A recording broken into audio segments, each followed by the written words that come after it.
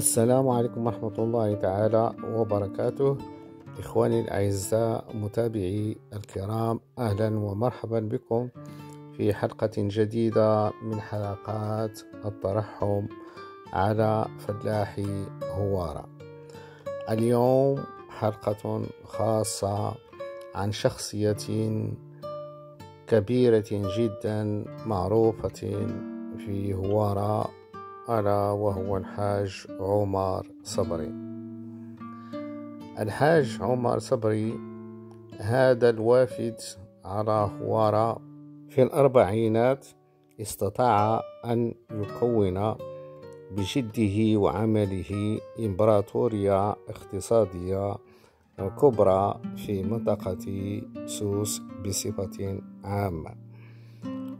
فهو بدأ كعامل بسيط في مطحنة وانتقل بعد ذلك إلى الأعمال التجارية. ومن الأمور الطريفة التي وجدتها وأنا أقرأ كتاب ابن فورني وجد أن أنه كان قد صنفه من الناس الذين استطاعوا أن يغيروا من عاداتهم المغربية وأن يدخلوا إلى عالم الأوروبيين لأنه كان يملك نظرة ثاقبة وبالفعل ذكر بأنه استطاع أن ينجح أولا في الميدان التجاري بحيث كان يرافق حتى فرجي الذي كان يبيع له بعض المنتوجات الفلاحية.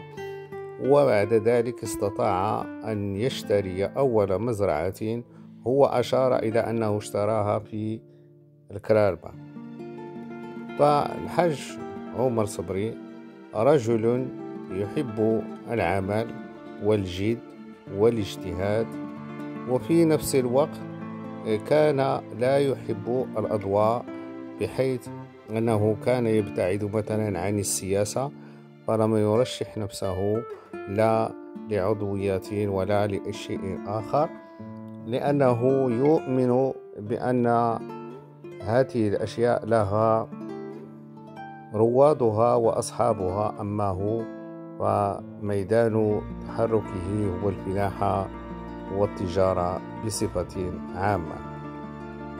هنا نراه في حفلة سنة 1973 وتقريبا كل الصور تعود إلى هذه السنة وهي من أرشيف أخي الحاج محمد الرويبعة الذي كان يقيم الحفلات ديال عيد العاش بالنسبة لقبيلة الحفاية والتي كان يبدع فيها.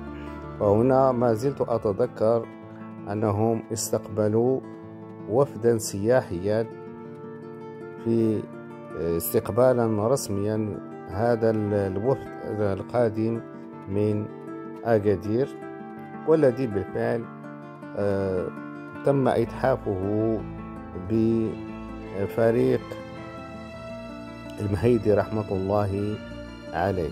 ترون هنا في نفس آه، الصورة الحاج محمد وهو يستقبل الوافدين. على الحفل.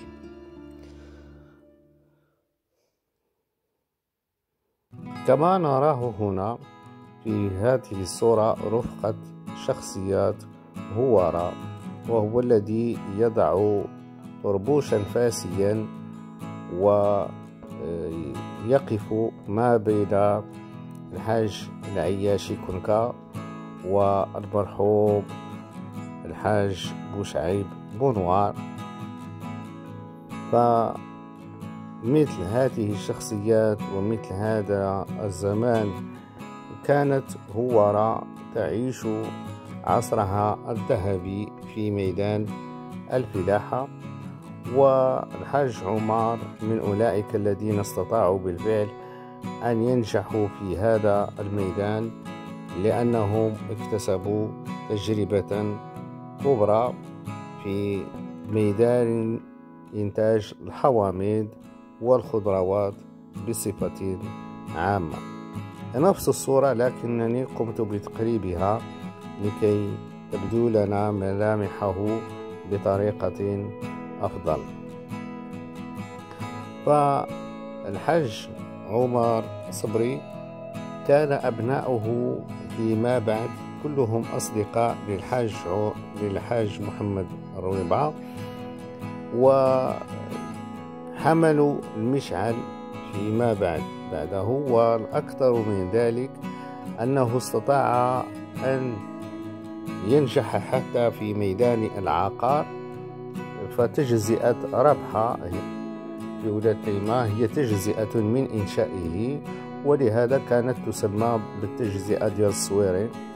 لأنه الهواريون يلقبونه بالصويري ولا ينطقون عن تماما وأنا واحد منهم فكنا نقول حج عمر الصويري يعني معروف بهذا الاسم. لهذا حي رابحة أو حي صويري فهو حي كان تجزئة أنشأها لما كان قد اشترى مزرعة القيد بوشعيب التي هي رابحة من عنده وحولها إلى آه، تجزئة كبرى. هي اليوم تضم الكثير والكثير من العقارات. فرحمة الله على الحاج عمر الصويري وأسكنه فسيح جناته. وتغمده برحمته الواسعة وجعل قبره روضة من رياض الجنة وقبل أن أختتم هذه الحلقة أقول لكم إن مشوارنا في ميدان الترحم على مثل الحاج عمر الصويري مستمر مستمر. بإمكانياتي المتواضعة وبمجهودي الخاص لأنني ارتأيت أن مثل الحاج عمر السويري وغيره كثير لا يمكننا أن ننساه فلا يعقل أن نبحث عن نبشة في الإنترنت عنه ولا نجدها. فرحمة الله عليه وجمعنا به إن شاء الله في جنات النعيم كما عاشرناه في هاته الفانية وهي مناسبة لكي أدعوكم أن تجددوا عليه الرحمات. إلى الملتقى إن شاء الله في حلقة قادمة.